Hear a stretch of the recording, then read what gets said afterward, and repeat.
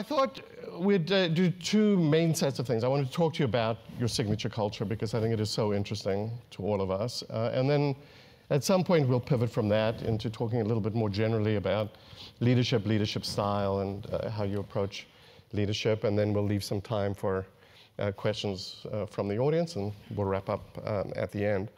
Um, so, talk to me about you know some of these signature pieces of the culture that I referred to uh, in my in my opening remarks. The, the idea of mayor and, and village and teammates, um, you know, the dress up. Uh, the chanting that I, heard, that I heard backstage. Um, what, what's the story behind, uh, behind all of this? Yeah, so uh, we, we believe we're a community first and a company second. I mean, hopefully everybody has some communities that they're a part of in their life. Could be their family, could be their book club, could be their church, could be their sports team, could be their best friends. Uh, community basically means that people care about each other, respect each other, and they care about the organization that they're a part of, that they're stewards, that care about what they give on to the next generation, that that's basic concept of community. And, uh, and so we believe in that fervently, that, that given we spend more than 50% of our waking hours as an adult uh, at work, and for some of us it's way more than 50%, especially if you travel, uh, that to concede that in any way that shouldn't be central to your life mission and that you shouldn't be uh, emotionally engaged with the people that you work with all that time, we think is a grotesque concession that, that some people have to make uh, and, and a lot of people don't have to. And people like the ones in this room are going to have a spectacularly big impact on the folks that work for you uh, through the course of your life. And so, so we, we said, okay, we're going to be a community, act like a community. Let's call it a village. Uh, let's make it the mayor because that raises the bar of expected behavior for us. And so we, we take it very seriously when we make decisions. We, we consistently use the metaphor of you were mayor of a village, how would you decide? Because uh, if you're mayor of a village, you care about the economy, but the economy is the means to an end, it's not the end. You want a healthy economy so you can have good schools, good parks, et cetera. Yeah. So I, I, have to say, I mean, I, I, alluded to, you know, what happened uh, in the green room before, but it, but it is very impressive. I mean, so here you are meeting up with a, a bunch of folks from, you know, the local area who you don't do this with every day, and yet you were able to lead them through a series of, of cheers, which are clearly deeply ingrained and um, and done, as you can see, by just looking around the room with you know with a, with a sense of passion and buy-in which of course is, is critical to having a culture. We can talk about culture all we like, but, but getting it bought in uh, in that way deeply through a Fortune 500 company, I mean, that's tough. So can you tell us a little bit, how, how do you go about that? How do you do that? It was, well, first, teammates, stand up. What the heck? Uh, we got some teammates here. So, so I knew I knew there were going to be a couple here, but I didn't know it'd be a bunch. Uh, uh, and so this was a pleasant surprise right before. So I will ask them three questions. Stay standing. What is this company? You. Whose company is it? Ours. And what could it be? Special. And if we're to build the greatest healthcare community the world has ever seen, let it be like this one for all. All right. Damn straight.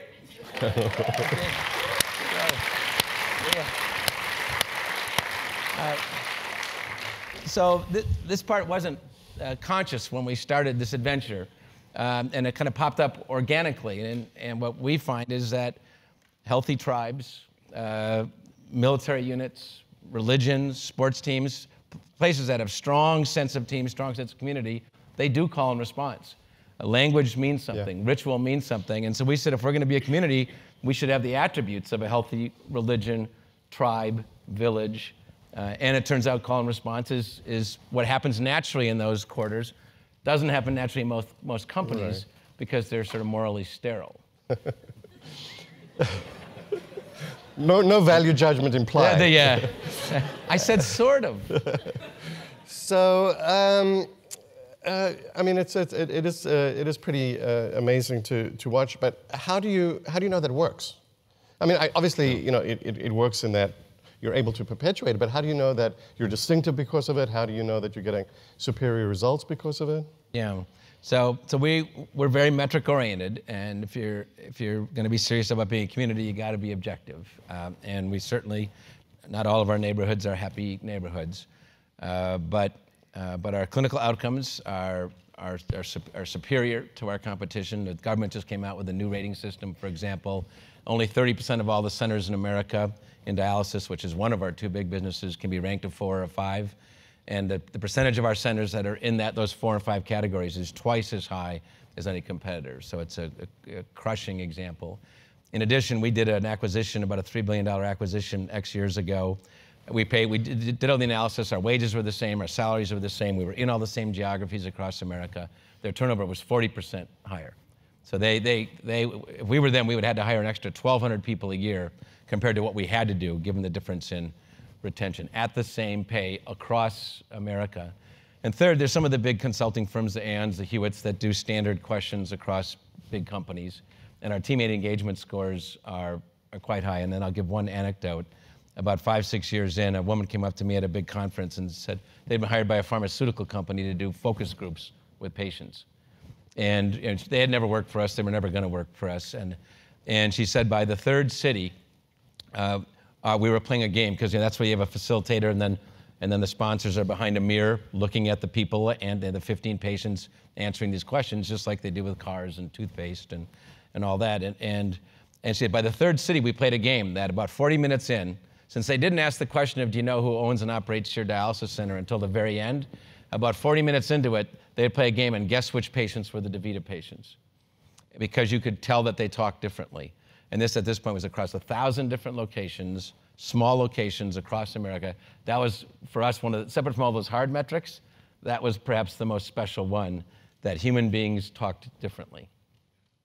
So you, you, you spoke a little bit about some acquisitions and spreading culture through acquisitions, and the one that you refer to is one where uh, it was really a like business model, but you were, you were taking the culture uh, to that. And of course, uh, you know, a couple of years ago, you, you bought HCP, which is uh, in a quite different business, related but different business. Right. And so, uh, have you tried to take the same culture there? Uh, are there limits to the extent to which you can transfer the culture to? Yeah. Well, both the big dialysis company, when we bought them, they were horrified at the notion of being subjected to this weird shit. You know, the, uh, yeah, that uh, they said it looks like a cult. That's a technical term. yes, yeah. yes, a term. It's uh, I'm just quoting them. Um, the that, it seems like a cult. It seems sophomoric. Uh, it seems cheesy. It seems inappropriate, cavalier. Um, and both there and then with this related business three years ago, they were similarly uh, worried about about uh, being subjected to it, forced to try to adopt it we made very clear in rooms like this, only not as nice. We can't afford nice rooms like this. The, uh, um, make very clear, please don't use our language uh, unless and until it becomes comfortable. Uh, that don't don't don't talk about. I don't feel like you have to talk about our, our values or some of our concepts or the village. Don't do any of that. Get to know us. Watch how we behave. Watch how we interact. And then a year downstream, we'll, we'll talk about whether or not we need to change any of the values or whatever. And both the first time and the second time, legacy DaVita veterans were appalled uh, that I would say that we might change them. Uh, but my response was if you're a village, you have to represent the current population. And, and when you have a lot of new people, it's a new thing, and you need to speak for that new community. And in the case of this related acquisition, uh, that from a business point of view, the first two years went very poorly. Tremendous organizational change. We took out half the senior executives. So a relatively traumatized organization, which exacerbated the fear around, you know, one hell of a village. You, you know, you let half the people go, and you're introducing all this change. Um, and so, in the second nationwide meeting since the time we closed the deal, once a year we get our top 4,000 leaders or so together. I went off in a room with the 270 leaders from that enterprise, 18 months in, traumatic 18 months, and said, okay, now we're going to have a debate. Do you want to go uh, adopt the legacy DaVita vision, mission, and values? Do you want to keep what you have, wait another year, keep it forever, or somewhere in between? And it was a very intense debate. Uh, about, about 80 out of the 250 people or so were physicians. Uh, people from all over America, new, some were new to the enterprise because the acquisitions have been done post close, some had, were, had, been there 25 years. Uh, they went through it, and, and about halfway through, a woman stood up and it was a very intense debate. A woman stood up, and one thing we didn't have on the ballot was go all in, to take, take the vision, mission, and values. We put, you can take these two, these two, or just one or none. Because we never thought it would go all in. Well, this one woman stood up and said, you know what? You know, I've been, I've been now, you know, it's been a year and a half since the deal. This, uh, we have wonderful people in our company, Healthcare Partners. They have wonderful people in Legacy DaVita. They are living the values that we all agree with, with far more intentionality and follow through and purpose and robustness than we are. And I want to be one company. I vote for all in. I think that should be added to the ballot. Applause broke out in the room. We had another hour of debate, both in small groups and big groups. And at the end of that two and a half hours, the 260 or so leaders from that enterprise voted 85% to go all in. 14 of the remaining 15 voted to go two thirds of the way in. Only 1% voted. So, so they, they voted for, embraced the village concept themselves, uh, much, I think, to their own surprise. No one knew what the outcome was going to be going into that room, and therefore there was no one subjected to anything. And they went out and told everybody across America that we just, you know, I've, I've sort of, I'm taking this stuff more seriously now, and in fact, I just voted for it. And has it taken root? I'd say you know, the, the, math I use uh, is I think we're about one third teammate citizens, uh, maybe more, maybe 33 to 40 percent. We're about 30, 35 percent, you know, just still watching, observing, and then whatever number is left uh, are, are, still negative. Yeah. So still on the, on, on the subject of uh, exporting the, the culture, uh, you've taken uh, DaVita now internationally. Can you talk a little bit about uh, some of the challenges in, in taking this kind of corporate culture to, yeah. to other, other national cultures? Yeah, the, uh, uh, this has been, it's been very intense. Uh, the, so first, when you think about core values, some people will look at them on a wall and say, yeah, it's motherhood and apple pie. Who doesn't believe in integrity? Who doesn't believe in team? What a dumb, you know, pointless list. Everybody believes in them. As a leader, the, the issue is not belief, it's practice. So, yeah, I believe in all those things. If you evaluate exactly how I behave every day, some people would say, hey, KT, I'm not so sure you're living that core value that you believe in. And even harder to create an environment where everybody practices them. And, and not violating a core value does not equal living it. So if I go a month without telling a lie, that is not living a life of integrity. Living a life of integrity is when you tell the truth when it hurts, when it's mm. embarrassing, when you didn't have to.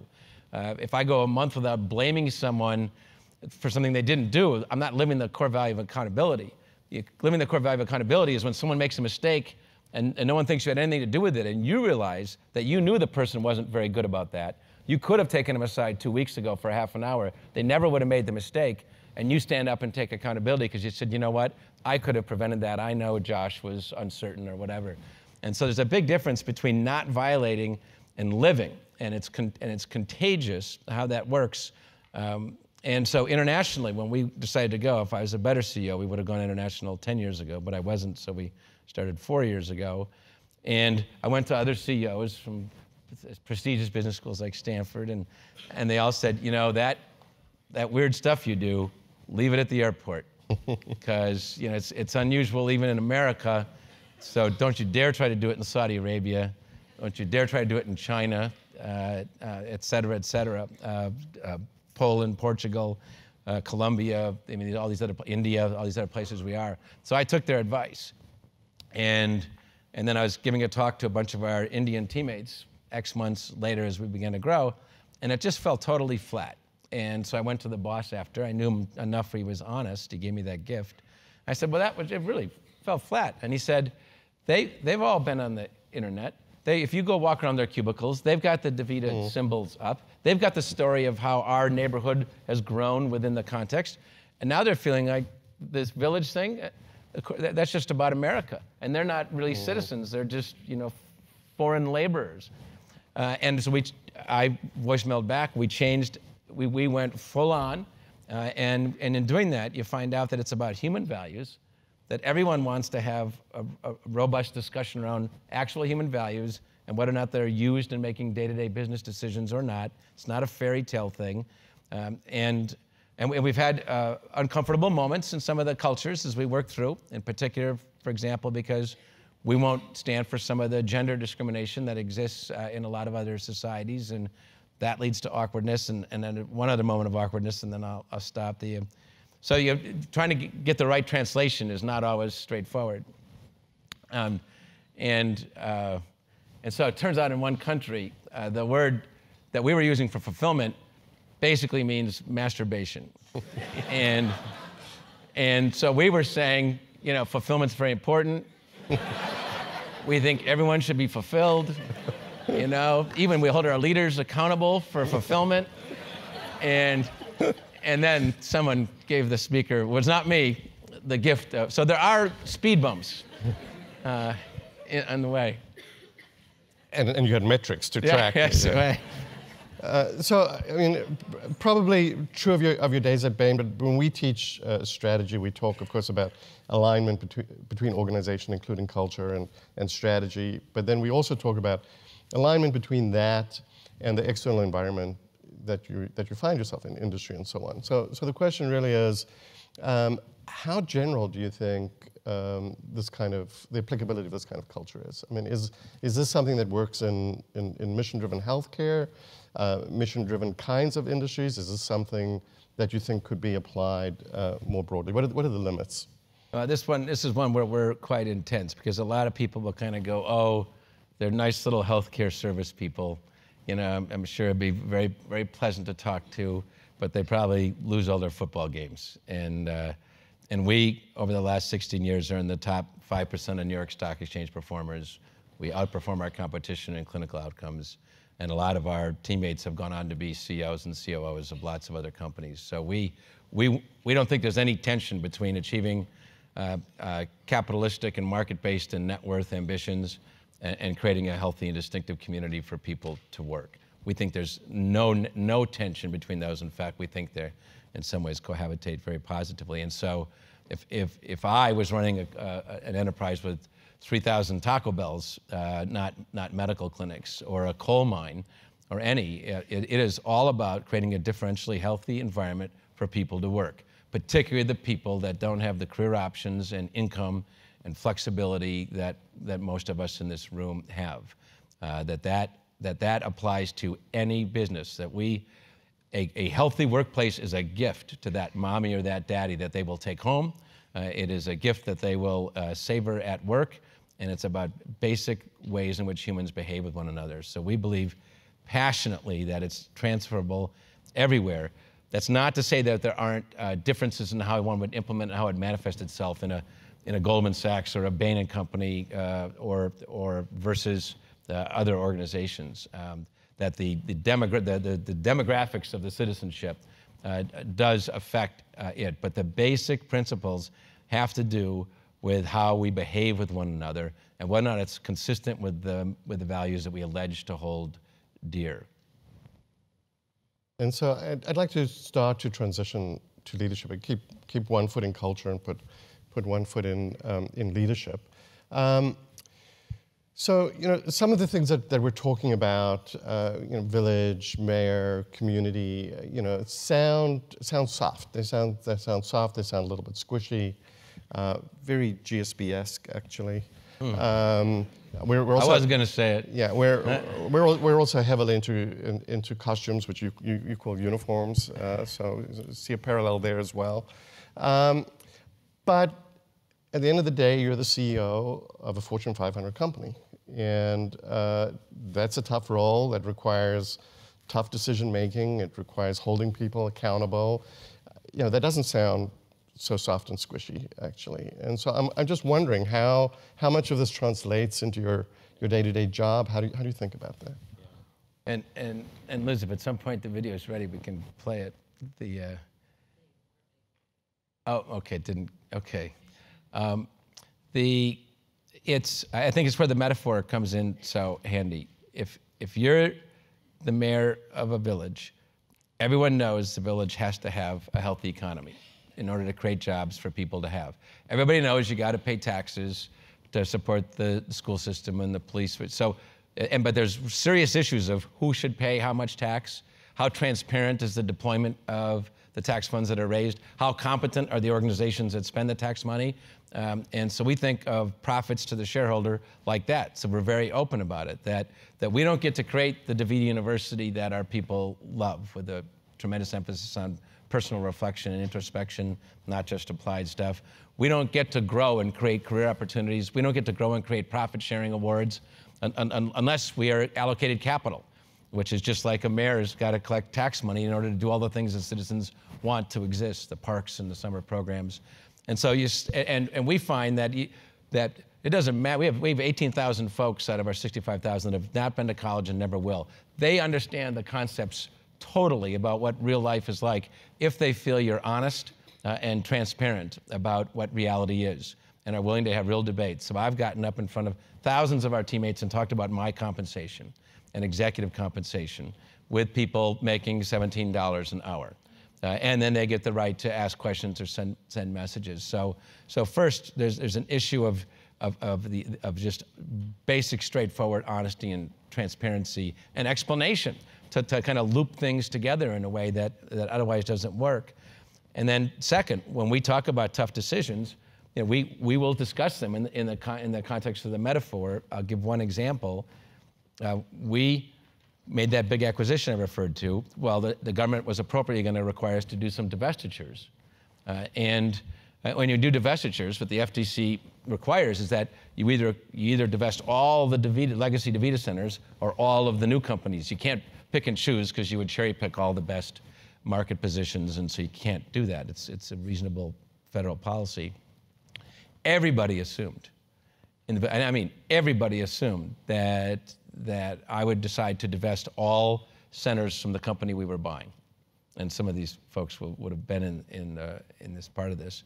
Um, and, uh, and I said, no. If, if the other company that we're buying has got a group that's on the ascendancy that is the clear long-term winner, then we will divest the DaVita, legacy DaVita centers. People were appalled that, you know, this is a violation. We love the village. We've been good citizens of the village. We have excellent clinical outcomes. And you're going to sell us to, to, you don't even know who you're going to sell it to. And we can't even switch and work because the way the FTC rules work, you can't, you know, take all the employees. You got to, there's a certain hands-off period. In our case, teammates, not employees. They call them employees. Um, and so people are livid. And I, I, got up in a room, a much bigger room, with 3,000 of our leaders and, and explained that, that job one of a mayor of a village is to make sure the village is sustainable for the long term. Because every single one of us talking to them is going to leave the village at some time because we get a great job offer, because we retire, because our spouse gets transferred. And so we are all stewards for the next set of people in these chairs and for maintaining an environment where we can provide superb care for our patients. That's job one. And just like if you're mayor of a village and you know you got to put a highway in or your downtown's going to deteriorate and you're going to lose to some other village, you know you got to rip down houses to put in that highway. And some of those people will have lived in those houses for 25 years, love their neighborhood, and you're going to rip down their house to put in a freaking highway. But that's the right thing, either that or the place goes dead in 30 years and got up and, and explained why I had decided what I had decided. And about 70% of the people being divested came up after, most of them crying, saying that they, they accepted the logic, that the decision was best for the village, and that was consistent with my responsibility. And they were very sad, uh, but understood. So, so we, it's, we, we put it together uh, because you know, life, life yeah. is hard sometimes. And, and how much of this translates to decision making with your core team? I mean, you know, you're talking about the, the village at large, but when you, you bring this back to core management team, what, what, what are some of the tough decisions you've made? Are there, are there times where you've had to go against the wisdom uh, of the core team and say, yeah. you know, I am the mayor. This, I think this is the, this is the right decision.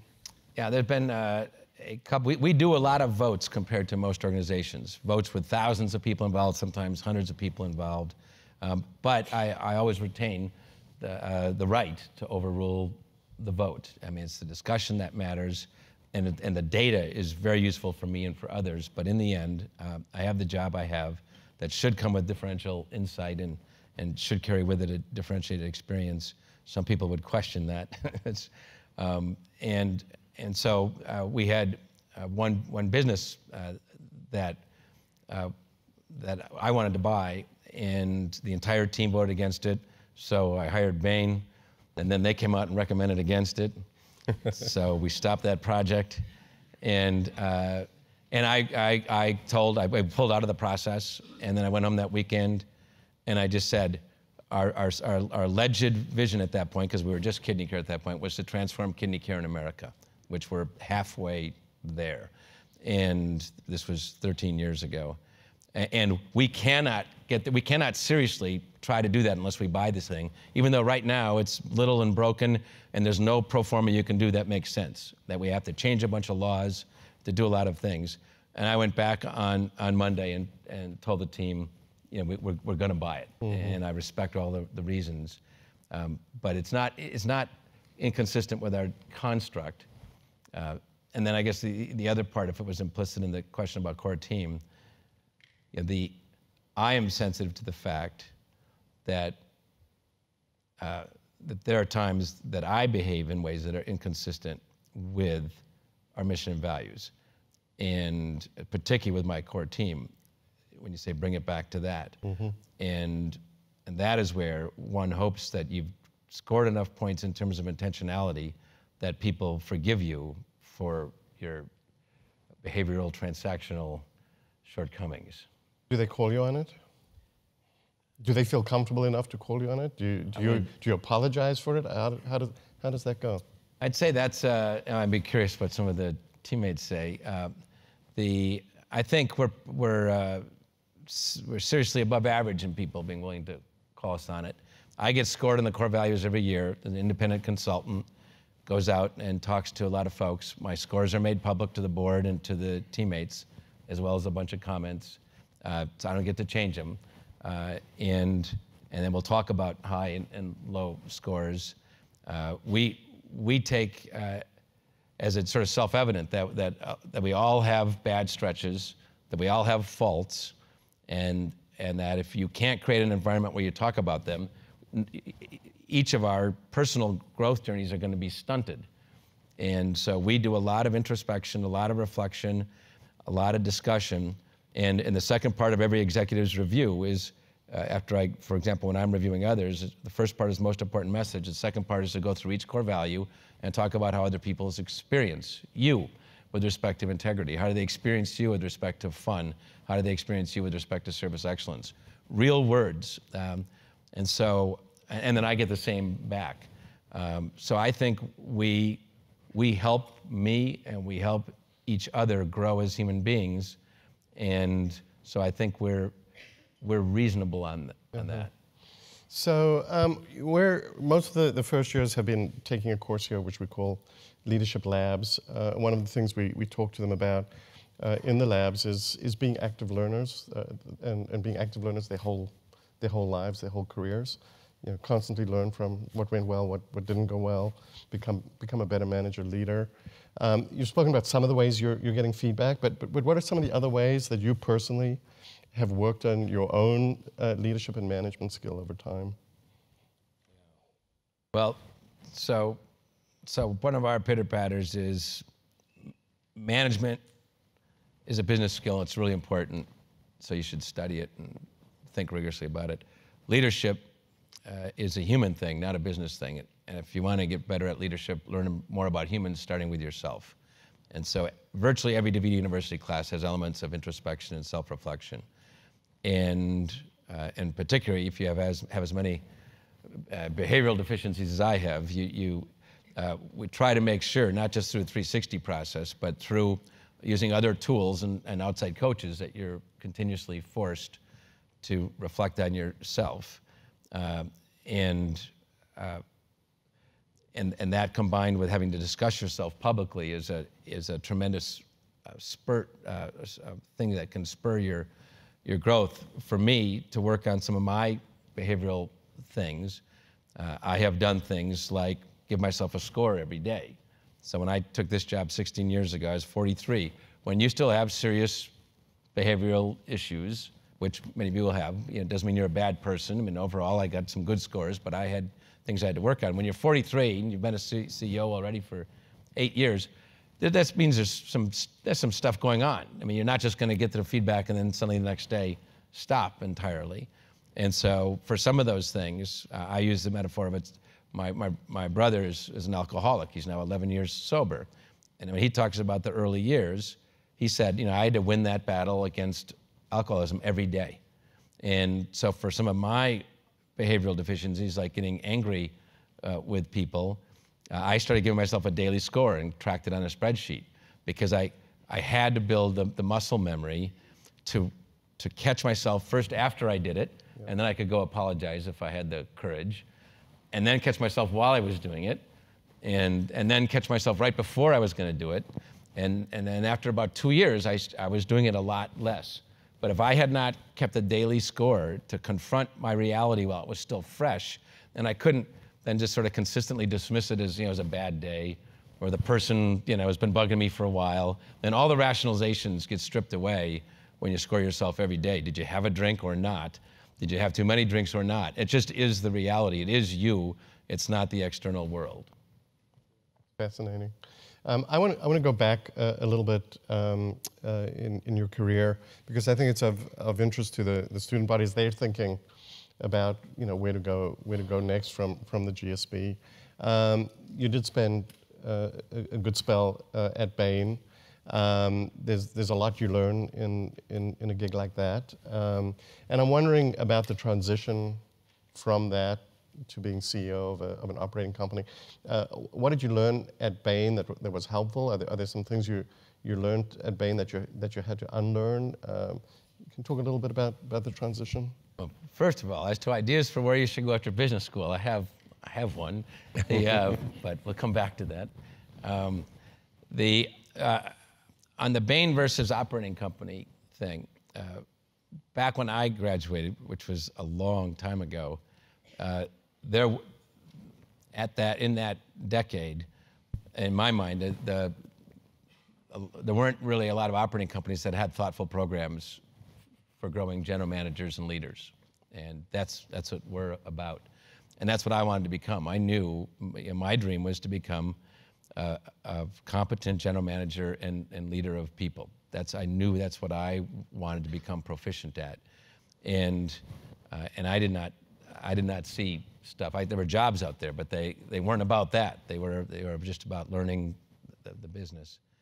And, and then in consulting more generally, you know, my, the way I would advise young people is if, if you want to be a general manager leader in the long term, that, and you find you're, you're, the, you're the sort of person who's super, super bright, you figure out the case faster than other people, you can, you can, uh, you're very uh, verbally adroit, connected to your brain that uh, but you're not a natural team leader. You're not a, nat- you're not a natural team builder.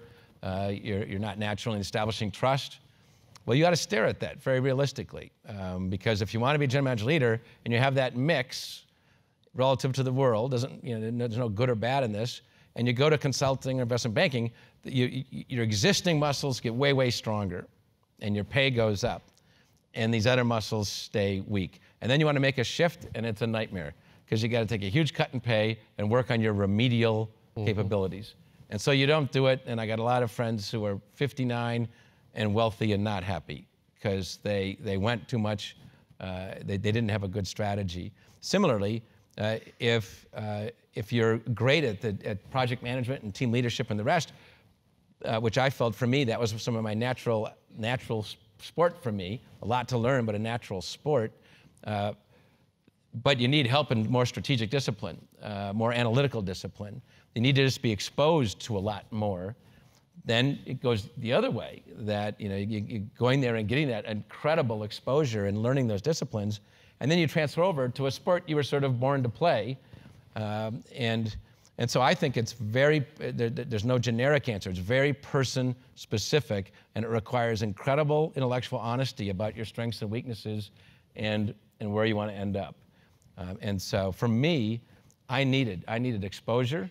Uh, I needed to, to run with that, that sort of uh, intellect with people for a while to make me sharper, uh, help me grow. Uh, I needed to become more disciplined analytically. I needed all those things, and, and I got them big time, mm-hmm. Uh, and then went to, to play where I always knew, I mean, the sport I wanted to play. Good, thank you. Uh, I, I don't want to I don't want to hog all your time. Uh, let's uh, let's instead uh, open it up for, for questions from from the audience. I have the first question from Twitter.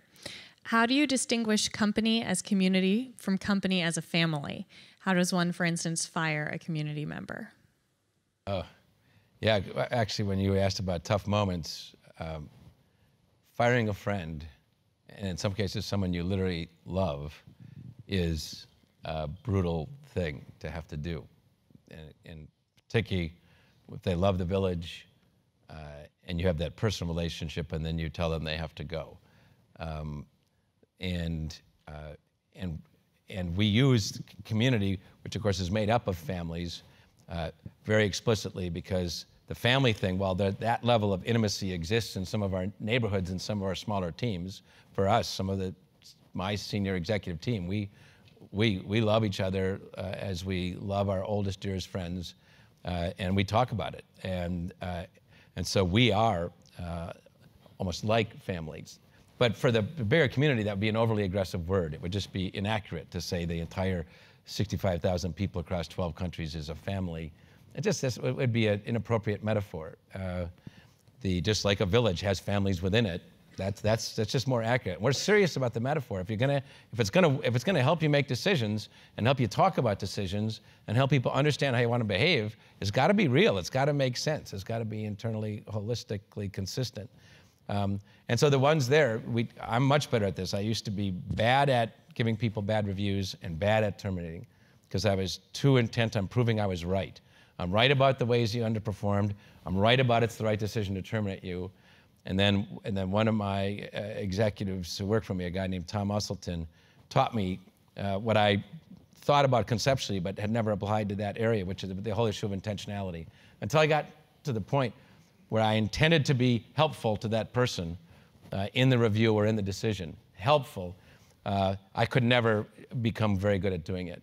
And, and as I went through my year or two of learning that uh, from this gentleman, I, there were times I canceled the meeting because I knew I was still going in with my old tendency to want to prove I was right uh, and, and, and take care of, uh, respond to any rebuttal.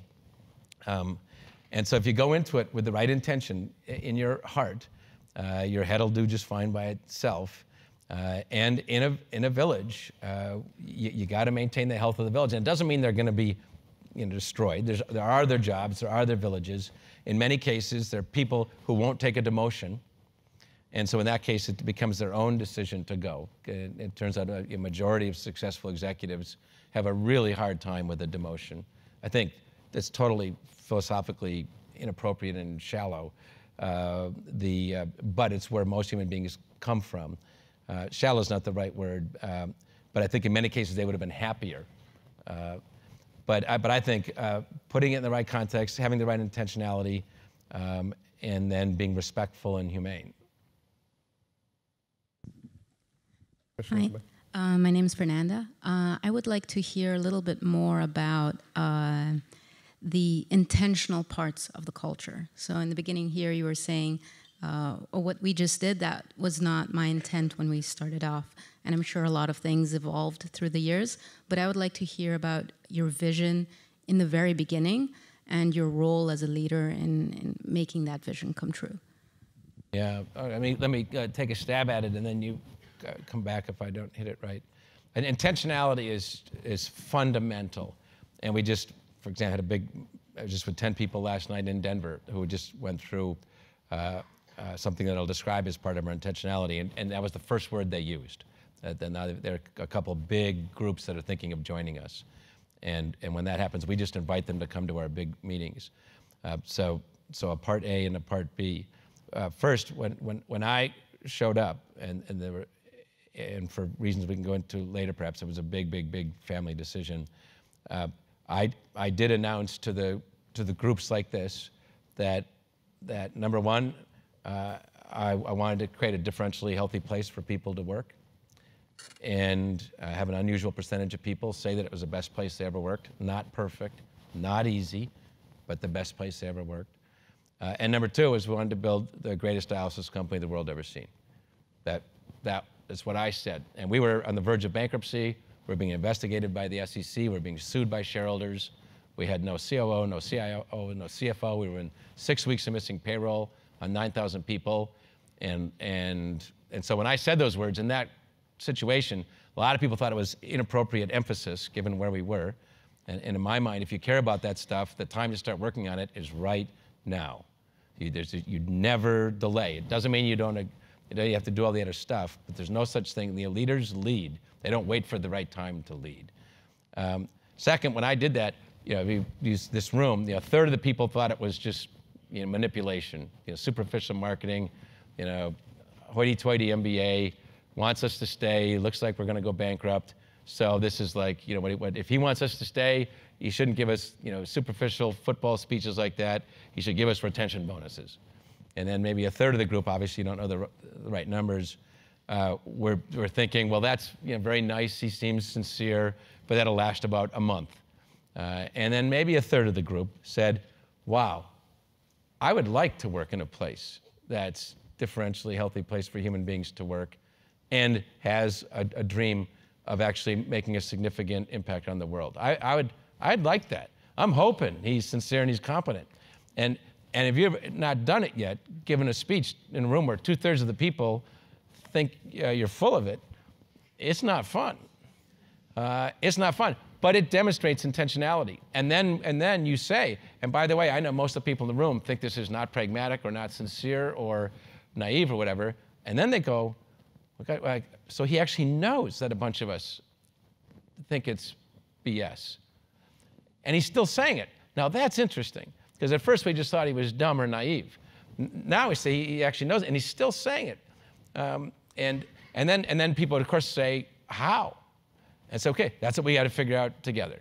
You know, here's some ideas about, uh, about our policies around DaVita University. Here's some of our policy about helping teammates in need. Here's some, our, here's some of our here's some you know, brainstorming here and there on personal and professional development and impact on communities. And, and, and, and so we started to demonstrate by having regular meetings where the only subject was, how do we make this notion of being a differentially healthy place to work come true?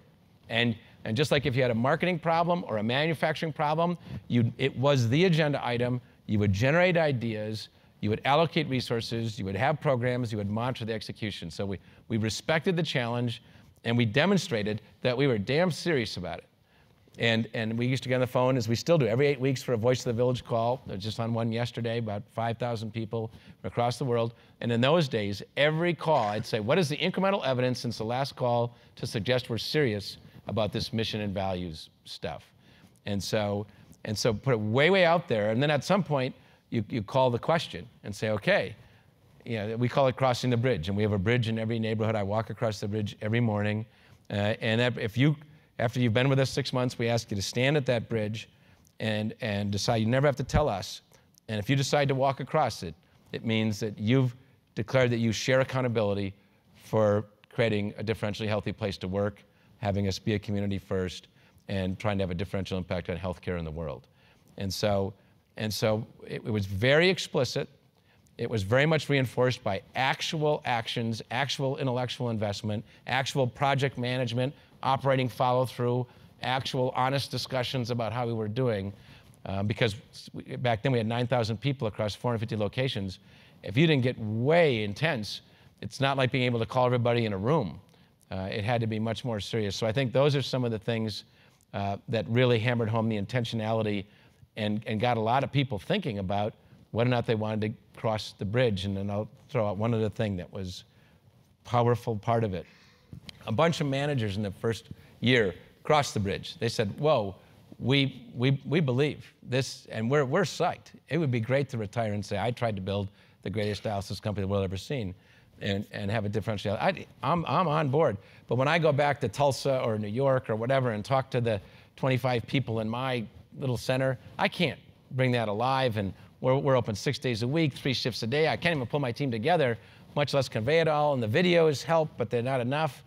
And so we're, we're like, you know, the, the village concept is sort of stopping at the manager level. And so we had town halls, and their managers saying this to, to me and the other senior leaders. And, and we said, okay, how can we break through that? And, and then somebody had the you know, temerity to say, well, you know, we, we couldn't actually fly all our people somewhere, like to go to meetings like we do and discuss this stuff. And you know, of course, no, you can't because it's expensive and because it's really hard to get substitute staffing in all the local centers. And, and then we said, okay, but it appears we can't, we can't do what we say we want to do. The dream is not feasible unless we're willing to do something that we don't know of anyone else that does. And so ever since that time, we have academies. They're two days long. Every teammate in America and now increasingly in the world is invited to come for two days. We have people who've never been on a business trip, lots of them. Some never been on a plane, don't have credit cards, never checked into a hotel. And then the vice president's right next to the doctor, is right next to the, the, uh, the tech, who's right next to the secretary.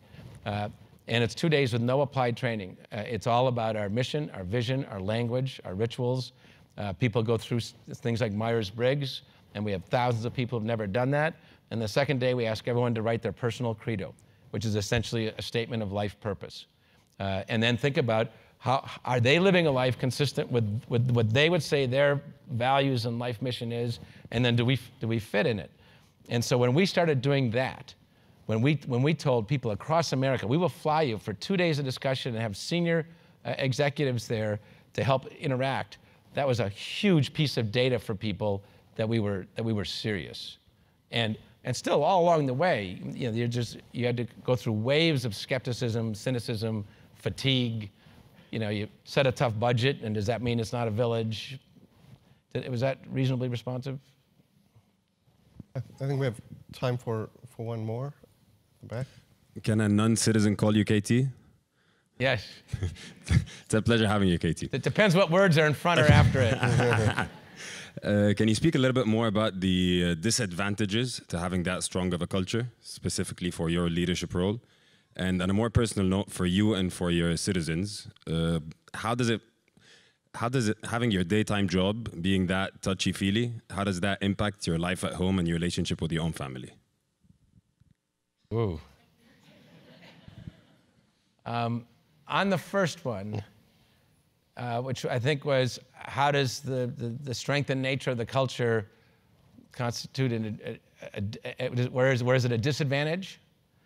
You know, I, I, I can't, uh, I've not been asked that specific question and thinking spontaneously, I, I really am coming up empty. I, I think it's, I think it's a, uh, it's always a good thing. Uh, now, sometimes it makes some stuff harder because you have to explain really delicate things that are uncomfortable, but that's sort of like the bridge you have to pass if you want a special culture. Is that's inevitable. So I think it forces uncomfortable human behavior.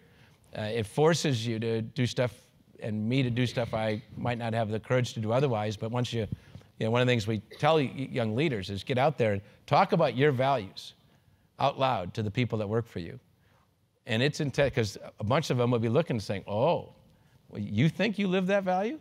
You know, I'm not so persuaded. Uh, and and the power of speaking out loud. So so I think it forces moments of serious discomfort, but it's never a, a disadvantage. Would be my my pretty strong reaction. Although I get the question, I'm not trying to be dismissive. Uh, and then on the second one, yeah, second one is uh, particularly thought provoking, giving my my son, my little munchkin, is in the room. um, the, um, but uh, but I, I, believe that, uh, that the DaVita Village has made me a, a better human being. And, uh, and I think, you know, obviously my kids have limited memories because I was ten, they were 10 and 8 when we started this adventure. Um, but, uh, but other people who, who know me throughout would talk about how it's fostered, it's fostered, forced, encouraged, motivated uh, growth as a human being. And I love most the letters we get uh, from people that have left, uh, or when we give core value awards, which we take very, very seriously, one of the rituals of our village, the annual core value awards, and then they happen throughout the village of the year, are very, very serious events. There's no recognition on our night of honor for business accomplishments. It's all uh, human behavior. Uh, that, that often, I mean, for me, the most special ones, and often the, the remarks of the people who get it will say that I've been at DaVita six years and I am a better daddy, I'm a better mommy, I'm a better daughter. Uh, that's, that's what we're about. It's, it's, for us, our culture is not a part of our business strategy. Our culture is about our, our dreams of, of what life should be like, and it just happens to be inserted into uh, a capitalistic enterprise. Um, so, uh, so I, I, feel it's, it's well, I'm, as my son will tell you, highly imperfect. Uh, I think it's made me way more mindful uh, at, at home. Uh, and, uh, and it's been de demanding, as, as, some of you know, back 16 years ago, when I took the job, I had just come off a private equity backed thing. I, I ran a company, it got taken over, was very neat financially and really sad because we thought we were building something special. Then I did a private equity backed thing with TPG and Bain Capital, uh, and it failed. And it failed largely because of mistakes I made strategically and otherwise. And I had friends who moved their families across the country to join this company with me. And then a year and a half later, I had to tell them their job was being eliminated. And, and we ended up selling the piece of the company, losing half the money. And, and, and in the face of that, and I was, so I was working very hard to uh, try to save it and didn't. And, and so when, I, when that was over, I told my wife and kids that I was uh, going to take six months off and, uh, and spend time with them and get healthier and the rest. And so when search firms would call, I would say, you know, I'm, call me in six months. I'm, I'm going to take some downtime. I was within eight weeks of being done. And then, then they called for this company. And since I had run one of their caregiving company before. I was the most professionally fulfilling time of my life. And, uh, and so I went through a hellacious month with my wife, Denise, who was also an HBS grad, was one of America's first female venture capital partners, about how much of my taking this job was ego. You want to make some more money, want to prove I can turn around a company, want to run a bigger company. Even though it was in another city, it was a total turnaround. My family wasn't going to move uh, versus how much of it was, was virtuous and had to do with having a positive impact on the world. And I wasn't sure about the answer. Uh, I knew it was a bunch of both. And, uh, and clearly we decided what we did, and, and it was sort of pivotal in the end, uh, was, was saying it's, it, it's, the fact that it was going to be difficult was highly relevant, but it'd be one thing to be home five nights a week with your kids and talk to them about leading a purposeful life, and a whole other thing to be there fewer nights but lead one. And, and that's the gift that the village gave me. And so, uh, and so while it's pulled me away, and certainly there's times I've been distracted, uh, that I think my kids know that I'm doing my best to lead a purposeful life and become a mindful person. And I think that, that counts for something with them. I don't know. Well, we'll, we'll check that out with the munchkin later.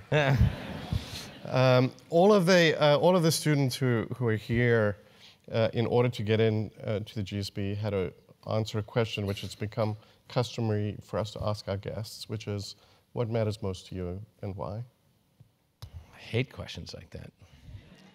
Um, the, uh, you know, at, at DaVita, people sometimes say, well, what matters more, you know, the, keeping the profits up and the stock price up, or the village? And I say, as mayor, that's a false dichotomy. It's like, what's more important to you, air or water? You, you have to have both. I mean, to say one's more important than the other is, is a, I think, a, a, a paradigm that defies reality. And so, so I would say three. One is uh, there, there is nothing more special than the, the people you love and love you. And the older you get, I'm, I'm a couple months from 60, the more significant that, that, that is. Uh, and what you sow, so shall you reap. Um, you know, by the time you get to my age, a lot of stuff is locked and loaded in terms of the depth and breadth of your friendships and the texture of those friendships and your relationships with your family and your kids and your, your spouse.